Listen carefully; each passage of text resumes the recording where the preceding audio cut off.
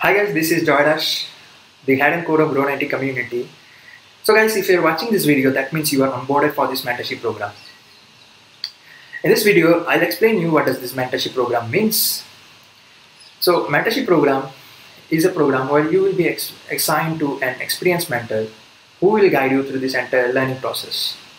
You'll not only be assigned to an experienced mentor, you'll also be assigned an, a real project outsourced by companies, SMEs or startups. So this will be kind of a project-based mentorship program. Also,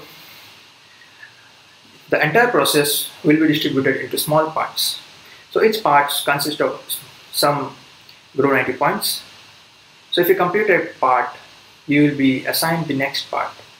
In the end, there will be cumulative grow 90 point which will help us uh, recommend you to the companies for internship or jobs.